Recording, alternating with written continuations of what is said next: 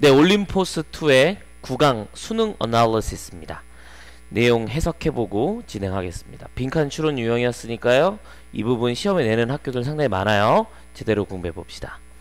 우리 모두는 mundane item 아래 적혀있는 mundane은 뭐라고 적혀있나요? 네 맞습니다. 명사로 형용사로 사소한이란 뜻이죠. 뭐 치약, 칫솔 이런 거 나와요. underwear, toaster, razor, sheet 이런 것들입니다. 사소한 아이템들을 우리 일반적인 일상적으로 효과적으로 일상생활을 하기 위해서 펑션, 기능을 하기 위해서는 다양한 이런 물건들을 필요합니다. 그 예시로 들어오는 게 속옷이랑 토스터, 기계, razor 여기서는 면도날 그리고 시트 여러 종이라든지 얇은 종이 이런 것들이 되는 거죠.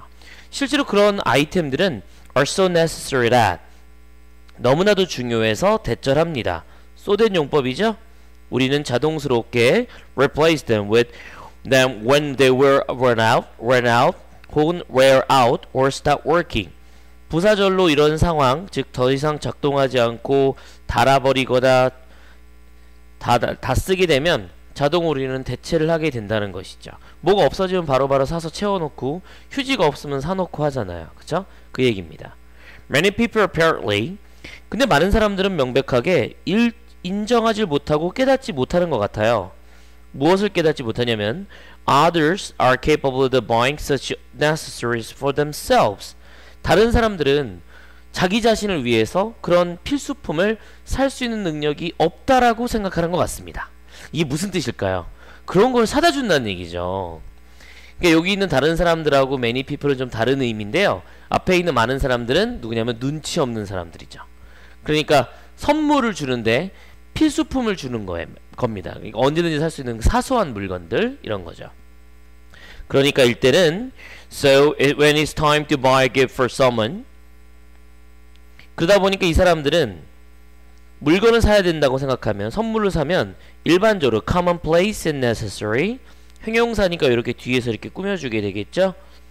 흔하거나 너무나도 흔하거나 필요한 필수적인 물건을 산다는 겁니다.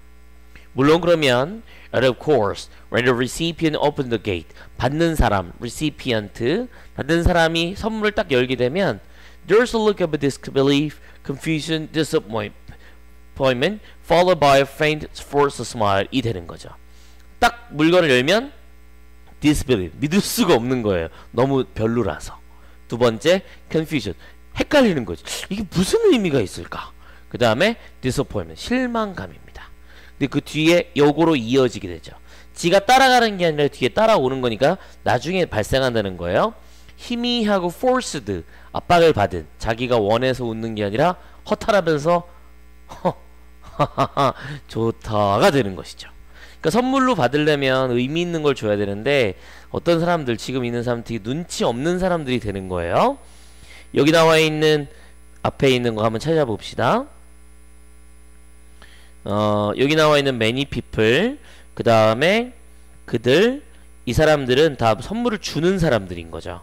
이 두 사람들은 눈치 없는 사람이라고 적어두시면 됩니다. 눈치 없이 일상적인 필수품을 선물로 사주는 사람인 것이죠. 자, 이 글에서 핵심은 무엇인가? 그 다음에 나와 있는 문장 노란색으로 체크하면서 핵심을 보겠습니다. 아, 죄송합니다. 여기 이 문장이 아니고요. 여기 있는 you부터 이 문장입니다. 하지만 주는 사람은 are oblivious to the reaction. oblivious는 알아차리지 못하는 거예요. 반응에 대해서. 그리고 자기가 잘했다라고 믿게 되는 거죠. 잘했다라고 돼 있는 해석을 해볼 때요. 이 have done이 나와야 되는 이유는 이 앞에 있는 believe라는 동사와의 관계가 먼저 발생했기 때문에 have pp를 써준 겁니다. 먼저 자기가 잘했었다라고 과거 시제에 더 잘했다라고 지금 믿기 때문에 뭐 반응에 대해서 이상하게 생각하는 거죠. 야, 네가 좋아할 만한 것 같아서 그냥 휴지 사왔어 이런 거죠. 물티슈 사왔어 이런 내용이에요. You should not give necessaries as gift. 이 글의 핵심. 선물로서 필수품을 줘서는 안 된다. 선물은 should bring a smile to the face of the recipient. 받는 사람의 얼굴에는 웃음을 가져와야 된다. 그리고 필수품은 unlikely to produce that response. 그런 반응을 불러일으킬 가능성이 없다. 이렇게 해석이 되시는 거죠. 자, 내용에서는 뭐 어렵지 않고요. 지칭하는 대상이 누군지 그리고 필수품을 선물로 주면 안 된다라는 음, 내용이 되겠습니다. 어렵지 않은 지문이죠? 수능 9강의 수능 어나리시스 첫 번째 지문이었습니다.